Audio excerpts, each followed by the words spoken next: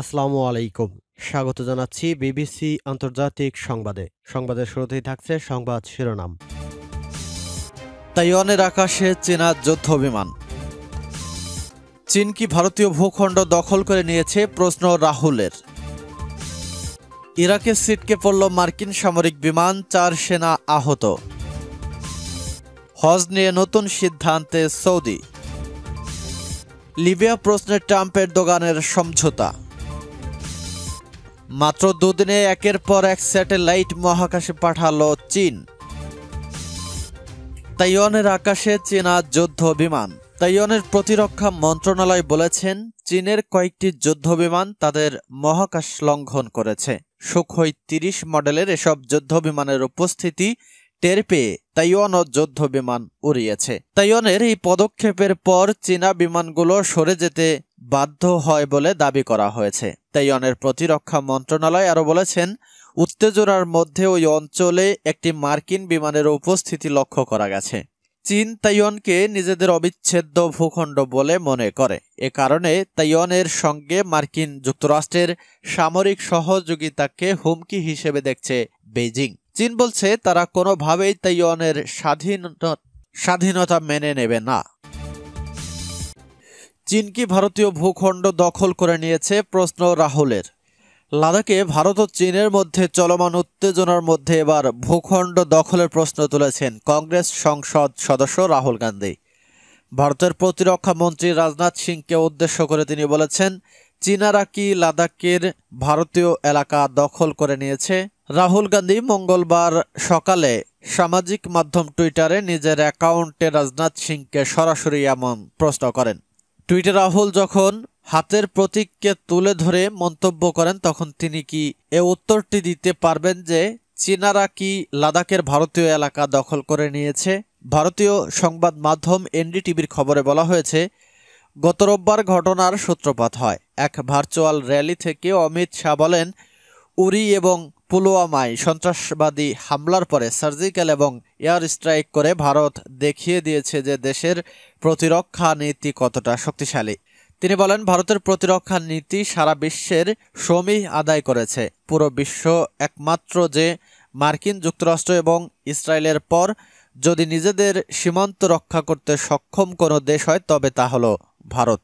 তারই বক্তব্যের পর টুইট করে রাহুল, কিংবদন্তি উর্দু, ফার্সিয়ান কবি মির্জা গালিবের একটি কবিতার প্রসঙ্গ টেনে অমিত শাহকে উদ্দেশ্য করে রাহুল গান্ধী লিখেছেন, প্রত্যেকেই সীমান্ত কি ঘটেছে সেই কঠিন বাস্তবতাটি জানতেন। তবে মনকে খুশি রাখতে শাহ ইয়াদ একটা ভালো পরিকল্পনা।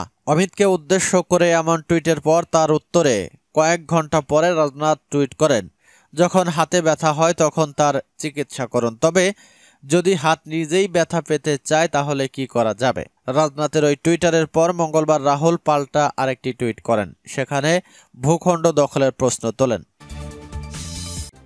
ইরাকে সিটকে পড়ল মার্কিন সামরিক বিমান, চার সেনা আহত।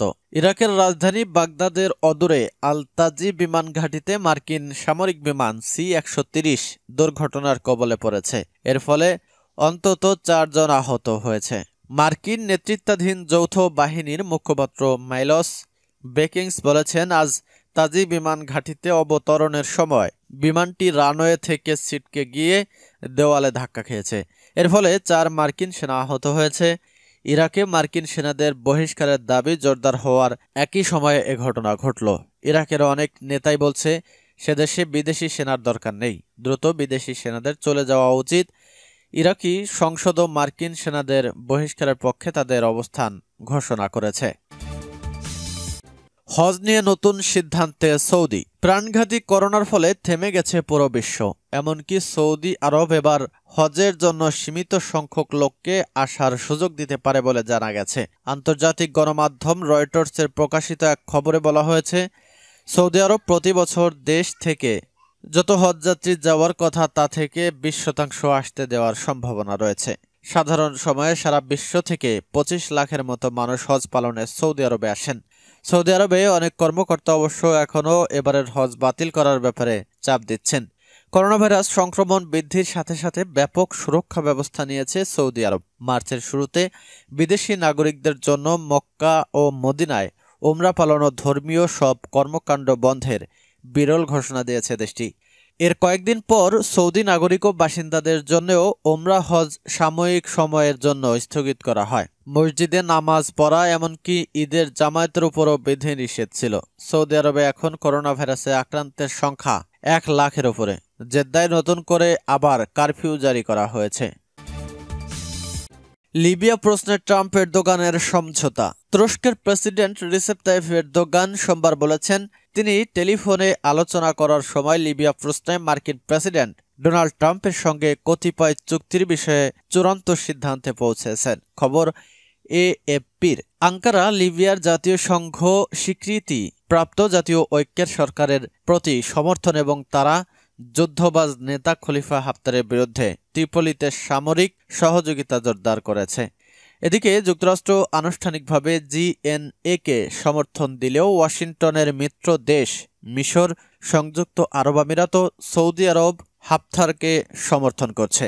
এরদোগান রাষ্ট্রীয় সম্প্রচার কেন্দ্র টিআরটিকে বলেন, আজ সন্ধ্যায় আমাদের ফোন আলাপের পর লিবিয়ার ব্যাপারে যুক্তরাষ্ট্র ও তুরস্কের মধ্যে একটি নতুন যুগের সূচনা হতে পারে। তিনি বলেন, আমাদের ফোন আলাপ চলাকালে আমরা কতিপয় চুক্তির সিদ্ধান্তে পৌঁছেছি। এক্ষেত্রে এ দেশের একত্রে সম্ভাব্য পদক্ষেপ গ্রহণ করতে পারে বলে উল্লেখ করা হলেও এ ব্যাপারে বিস্তারিত কিছু বলা হয়নি। এদিকে লিবিয়া সংঘাতের ব্যাপারে মস্কোর গুরুত্বের ইঙ্গিত দিয়ে এরদোগান বলেন, দেশটির ক্ষেত্রে কি ধরনের পদক্ষেপ নেওয়া যেতে পারে সে ব্যাপারে রাশিয়ার প্রেসিডেন্ট ভ্লাদিমির পুতিনের সঙ্গে তার আলোচনা করা প্রয়োজন। কেননা, হাফতারকে সহযোগিতা করতে রাশিয়ার বেসরকারি নিরাপত্তা কোম্পানি ওয়াগনার থেকে কয়েক হাজার ভাড়াটে সৈন্য পাঠানোয় মস্কোকে অভিযুক্ত করা হয়। এদিকে ক্রেমলিন তাদের বিরুদ্ধে আনা অভিযোগ নাকচ করে দিয়েছে। সোমবার সকালে দেওয়া তুরস্কের প্রেসিডেন্টের কার্যালয়ের এক বিবৃতিতে বলা হয়, এরদোগান ও ট্রাম্প লিবিয়ার শান্তি ও স্থিতিশীলতা জোরদারে তাদের আন্তরিক সহযোগিতা অব্যাহত রাখার ব্যাপারে সম্মত হয়েছেন। মাত্র দুদিনে একের পর এক স্যাটেলাইট মহাকাশে পাঠালো চীন। বিশ্বজুড়ে যেখানে এই মুহূর্তে করোনা আতঙ্ক নিয়ে একাধিক দেশ কার্যত ব্যস্ত, সেখানে মাত্র দুদিনের মধ্যেই পরপর চারটি স্যাটেলাইট লঞ্চ করে কার্যত রেকর্ড করল লাল চীন। বিভিন্ন সংবাদ মাধ্যমে প্রকাশিত খবর অনুযায়ী, গত ৩০ মে, যেখানে নাসা আন্তর্জাতিক স্পেস স্টেশনের উদ্দেশ্যে একটি বিশেষ রকেট পাঠায়। সেই একই সময়ে চীনের মাটি থেকে আরও একটি স্যাটেলাইট লঞ্চ করা হয়। হঠাৎ কেন এই সময়ে চীনও কেন মহাকাশে স্যাটেলাইট পাঠালো তা নিয়ে তৈরি হয়েছে ধোয়াশা। চীনের সংবাদ মাধ্যমের তরফে জানা গিয়েছে, বেজিং এর তরফে প্রথম দুটি স্যাটেলাইট ভোর চারটা তেরো নাগাদ লঞ্চ করা হয়। সফলভাবে ওই দুটি স্যাটেলাইট লঞ্চ করার পর ফের চীনের তরফে দুটি আলাদা স্যাটেলাইট পাঠানোর পরিকল্পনা নেওয়া হয়। যে বিশেষ রকেটের সাহায্যে ওই স্যাটেলাইট পাঠানো হয়েছিল, সেই রকেটের কাজের সঙ্গে যুক্ত ছিলেন এমন এক বিশেষজ্ঞ জানিয়েছেন, এই প্রথমবার সিয়াং স্যাটেলাইট লঞ্চ সেন্টার থেকে কোনো স্যাটেলাইট মহাকাশে পাঠানো সম্ভব হয়েছে। প্রথম দুটি স্যাটেলাইট পাঠানোর মাত্র ছত্রিশ ঘণ্টার মধ্যে ফের দুই স্যাটেলাইট দেশের উত্তর পশ্চিম অংশ দিয়ে মহাকাশে পাঠায় চীনের একদল গবেষকরা। তবে কিসের জন্য পরপর এতগুলো স্যাটেলাইট পাঠালো চীন? তা জানা যায়নি। এমনকি এই কাজের সঙ্গে যুক্ত চীনের মহাকাশ গবেষণা সংস্থার তরফেও কিছু জানানো হয়নি। ফলে প্রবল জল্পনা তৈরি হয়েছে চীনের এহেন কার্যকলাপে। একদিনে করোনা নিয়ে ভয়ঙ্কর পরিস্থিতি গোটা বিশ্বজুড়ে আর সে সুযোগে কখনো ভারত সীমান্তে, কখনো দক্ষিণ চীন সাগরে প্রভাব খাটাচ্ছে বেজিং জানিয়ে ক্ষুব্ধ ভারত ও আমেরিকা। আর এই পরিস্থিতির মধ্যেই একের পর এক রকেট পাঠানোতে জল্পনা আরও তীব্র হয়েছে। তাহলে শত্রুপক্ষের ওপর নজর রাখতেই এই পদক্ষেপ বেজিংয়ের না মহাকাশের যুদ্ধের প্রস্তুতি নিচ্ছে চীন। বাড়ছে জল্পনা। প্রসঙ্গত, এর আগে আমেরিকার তরফে মহাকাশে একাধিক স্যাটেলাইট পাঠানো হয়েছিল। কিছুদিন আগেই আন্তর্জাতিক স্পেশন স্টেশনে উদ্দেশ্যে মার্কিন মহাকাশচারী রওনা দিয়েছে।